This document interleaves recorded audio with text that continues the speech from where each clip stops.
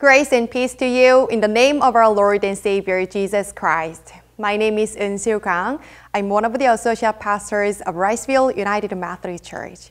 It is my great joy to welcome you to our worship service at the Vine, an online campus of Wrightsville United Methodist Church. We are so grateful to have this opportunity to worship together. No matter where you are joining us from, we cherish your presence with us today. So it is our prayer that through today's worship service, you will encounter God in a meaningful way and receive a blessing that touches your heart and life. So now let us open our hearts and minds to experience God's love and grace. Take a deep breath and feel closer to our Lord.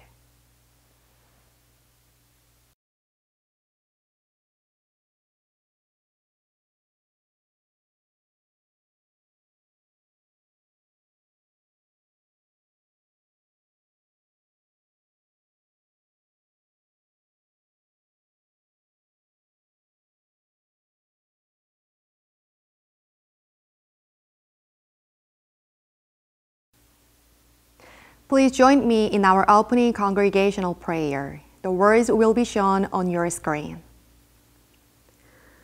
Lord Jesus, Master of both the light and the darkness, send your Holy Spirit upon our preparations for Christmas. We who have so much to do and seek quiet space to hear your voice each day, we who are anxious over many things look forward to your coming among us. We, who are blessed in so many ways, long for the complete joy of your kingdom. We, whose hearts are heavy, seek the joy of your presence. We are your people, walking in darkness, yet seeking the light. To you we say, Come, Lord Jesus. Amen. Hello, this reading is from the book of Isaiah, chapter 35, verse 10. And the ransom of the Lord will return. They will enter Zion with singing. Everlasting joy will crown their heads. Gladness and joy will overtake them, and sorrow and sighing will flee away. We light this candle as a symbol of Christ our joy. May the joyful promise of your presence, O God, make us rejoice in our hope of salvation. O come, O come, Emmanuel.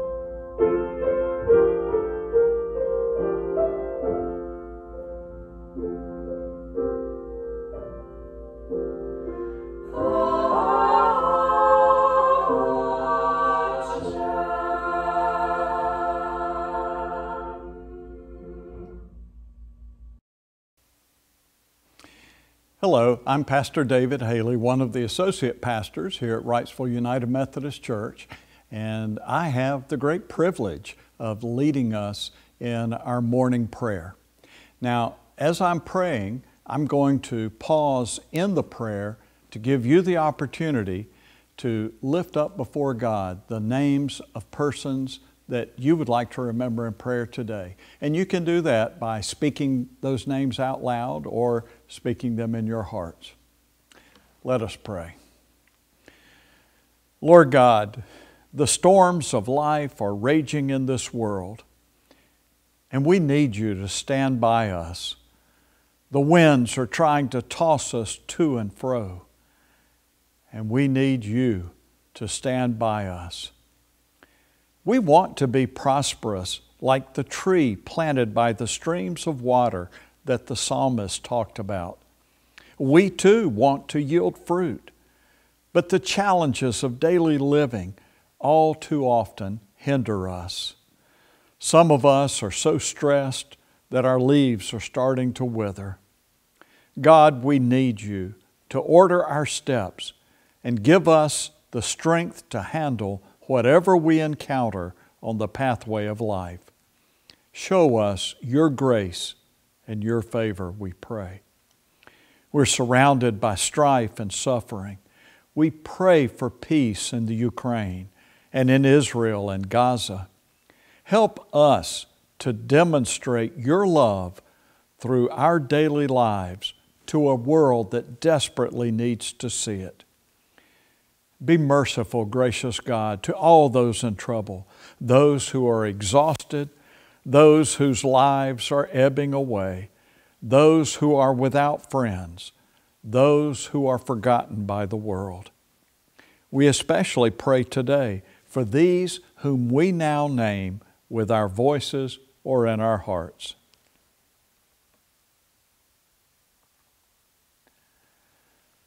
Lord, in your mercy, hear our prayer. Thank you, Lord, for your promise to never forsake us or leave us. Help us to live lives through which you bless others. Through Jesus Christ we pray. And as he taught and still teaches his disciples to pray, so now we also pray together as God's confident children the Lord's Prayer. Our Father, who art in heaven, hallowed be thy name. Thy kingdom come, thy will be done on earth as it is in heaven. Give us this day our daily bread, and forgive us our trespasses, as we forgive those who trespass against us. And lead us not into temptation, but deliver us from evil. For thine is the kingdom, and the power, and the glory forever. Amen. We come now to the time in our service where we take a few moments to reflect on our participation in the kingdom of God, especially through worshiping God with our giving. The scripture tells us in 2 Corinthians 9, verse 7, that each of you must give as you have made up your mind, not reluctantly or under compulsion, for God loves a cheerful giver. Because God gives us blessings each and every day, we worship God by giving offerings to God out of gratitude and thanksgiving. You can worship God with your giving at a live worship service by mailing checks to P.O. Box 748, Wrightsville Beach, North Carolina. You can also find a link on our church webpage through which you can give. And in so doing, you are worshiping God with your givings.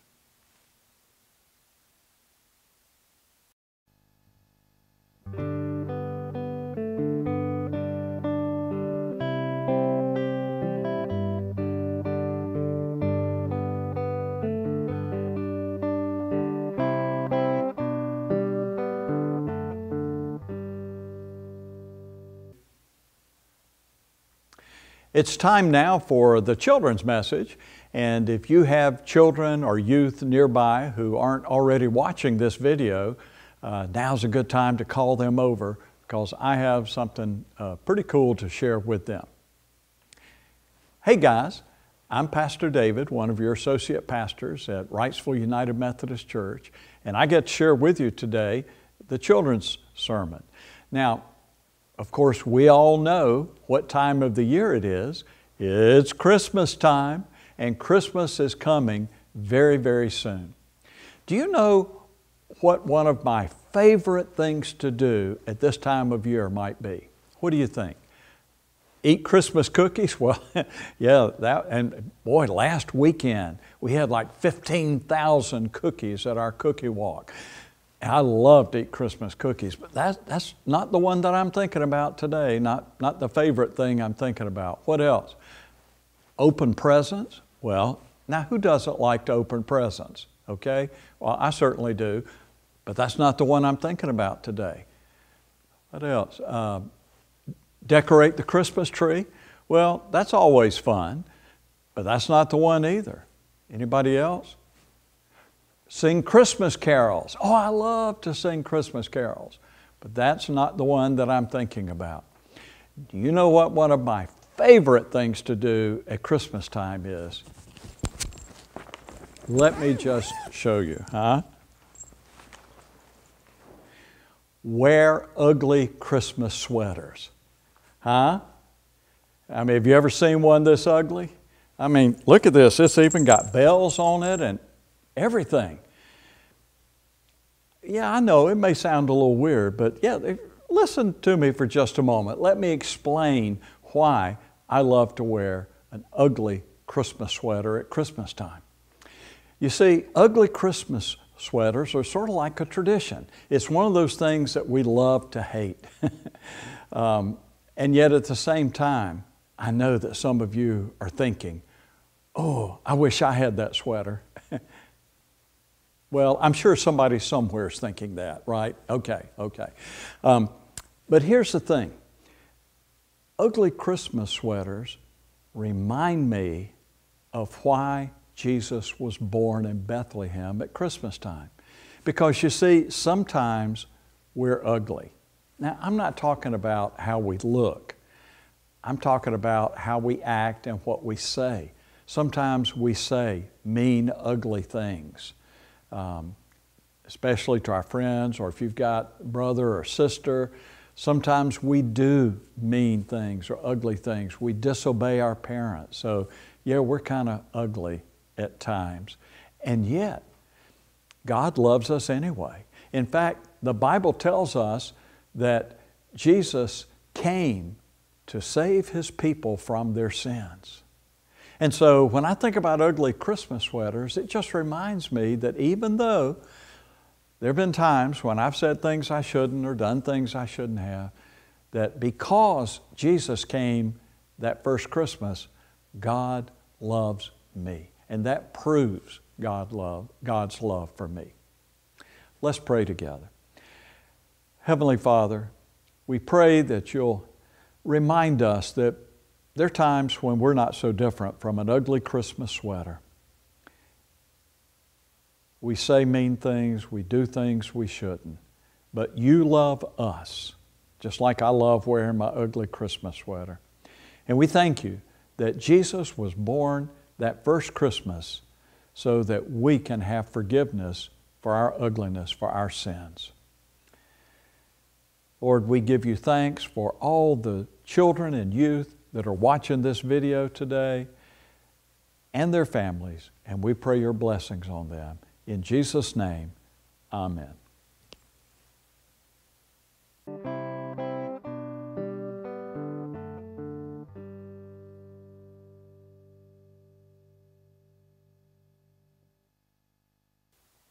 Grace and peace to you in the name of our Lord and Savior, Jesus Christ.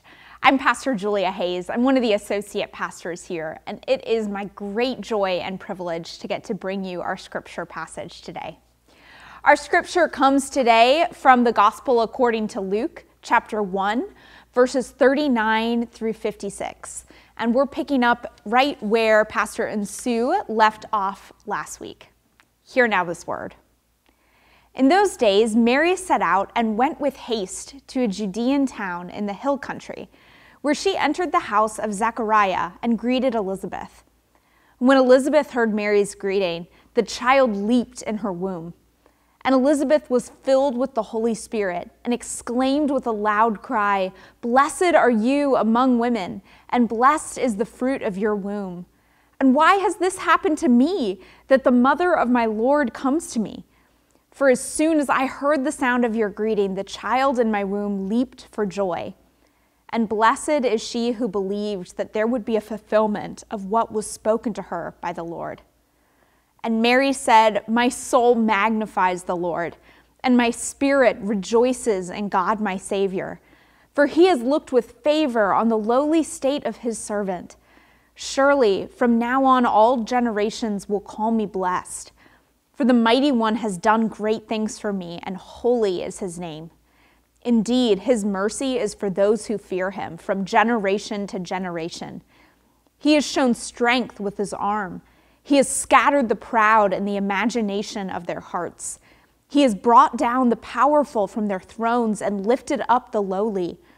He has filled the hungry with good things and sent the rich away empty. He has come to the aid of his child Israel in remembrance of his mercy according to the promise he made to our ancestors, to Abraham and to his descendants forever. And Mary remained with her about three months and then returned to her home. This is the word of God for us, the people of God. Thanks be to God. Would you pray with me? Holy and loving God, we are longing today to hear from you. Lord, I ask that in this time you might use me to speak a message to your people. Lord, I pray that anything I say that isn't from you would be instantly forgotten. But anything that I say that is from you, Lord, let it root deeply into our hearts. Lord, may the words of my mouth and the meditations of all our hearts be pleasing in your sight, O God, our rock and our Redeemer.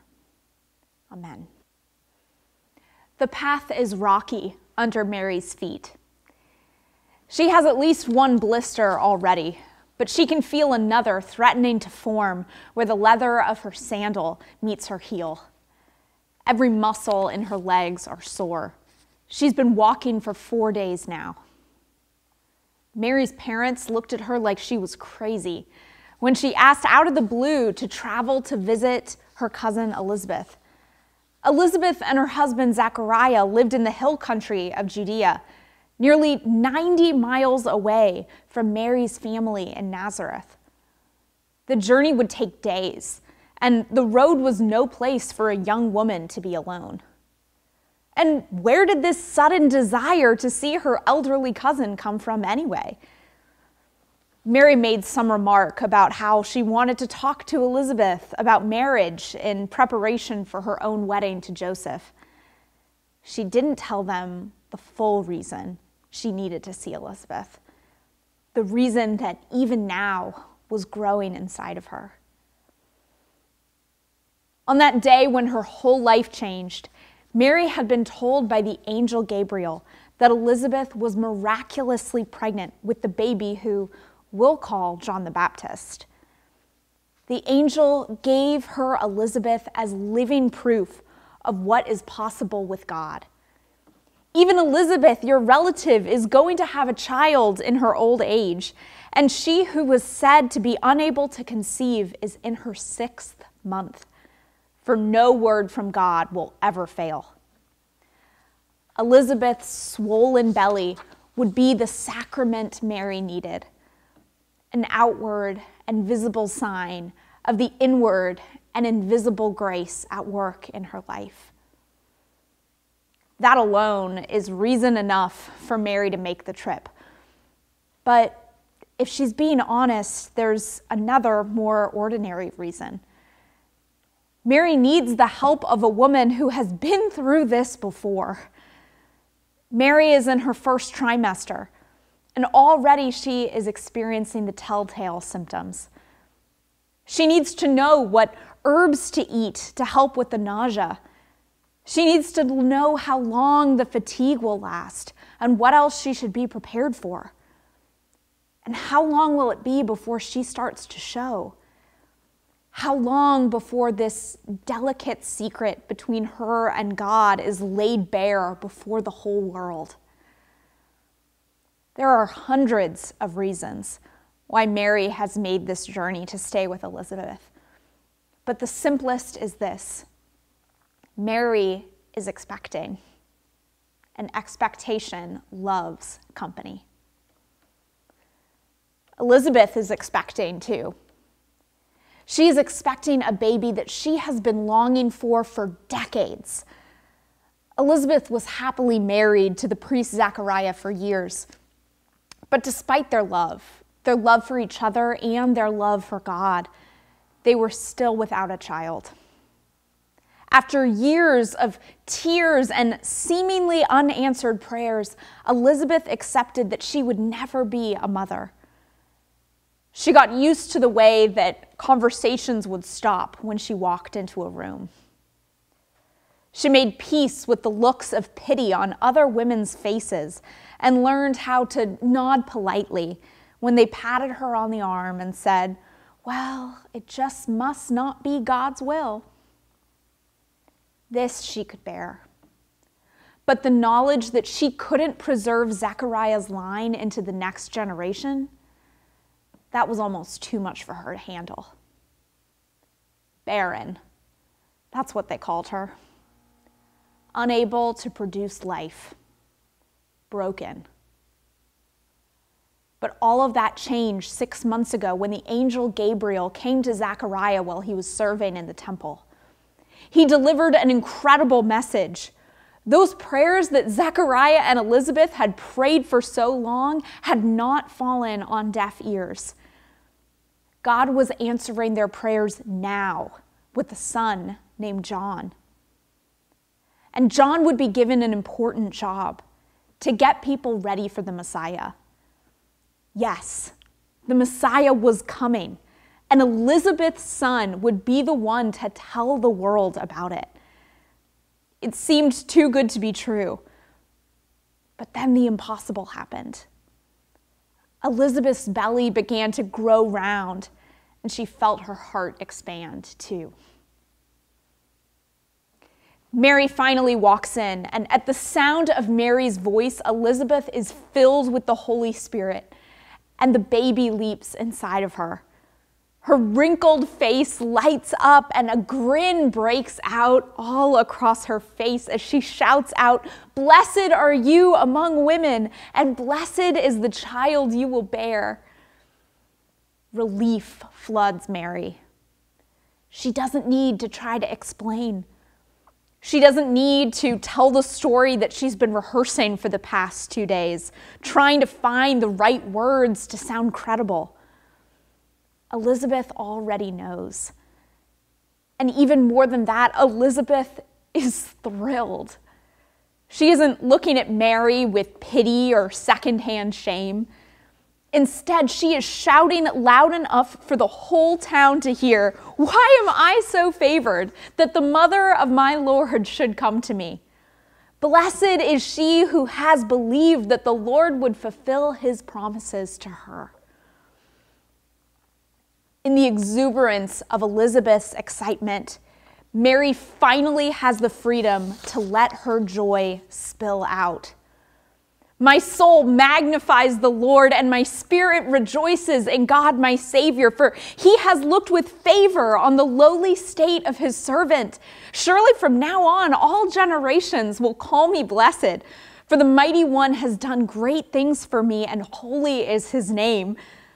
Indeed, his mercy is for those who fear him from generation to generation. He has shown strength with his arm. He has scattered the proud in the imagination of their hearts. He's brought down the powerful from their thrones and lifted up the lowly. He's filled the hungry with good things and sent the rich away empty. He's come to the aid of his child Israel in remembrance of his mercy according to the promise he made to our ancestors, to Abraham and to his descendants forever. The song Mary sings flows out of the Hebrew scriptures that she heard every day as a child. It borrows words and phrases from the Psalms that tell of God's power, of God's faithfulness to Israel, of God's care for the poor, of how God uses the humble to shame the powerful. Mary can sing from all of these scriptures because before Mary was expecting, the Israelites were expecting. Abraham was expecting. Abraham was just to no one when he was promised that he would become the father of a great nation and that through his family, God would save the world. David was expecting. Despite his failures as a king, God promised that his lineage would go on forever and that one day the very Messiah would be David's descendant. And after years of bad kings followed by worse kings, the Israelites were expecting this promised king from the line of David, too. The prophets were expecting. They warned that if the Israelites didn't turn back from God, something terrible was coming. And yet, in the midst of this, the prophets were expecting that God would be faithful. Well, now it had been 400 years since the last prophet. There have been generations who have lived and died without hearing a word from God, who have not seen God's promises fulfilled. And yet, there are some who have never stopped expecting now, here in this room, two peasant women become the embodiment of God's fulfilled promises. When they feel the kicks in their stomachs, they know that God's mercy is for those who fear Him from generation to generation. They know that the expectations are coming true. What are you expecting? Perhaps you feel like Elizabeth and Zechariah, that there's promises that have been made to you, dreams you have in your heart that have been lying dormant for years. Perhaps the way forward seems unimaginable. What are you expecting? Are there broken relationships in your life? Places where you cannot even imagine how something good and life giving could come. What are you expecting? As you look at our world, the brokenness that seems to be everywhere, the pain and war, do you believe that there is a future filled with goodness and peace? What are you expecting?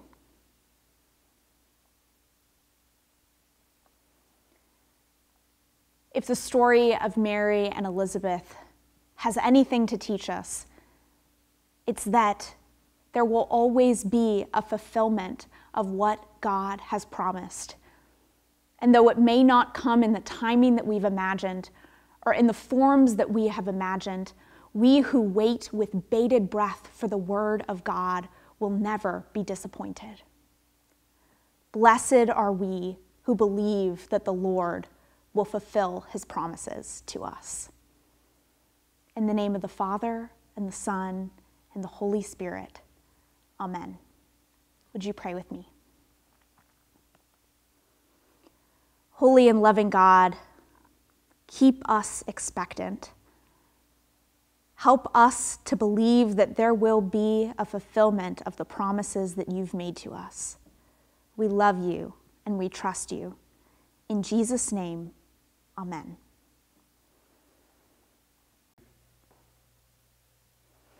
As you go from this place, go expecting the promises of God to be realized even in your life.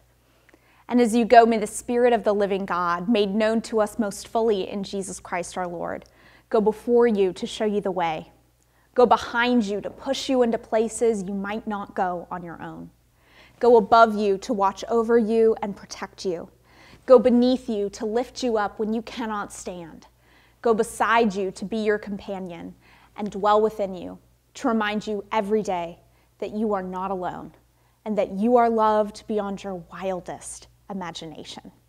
Go in peace.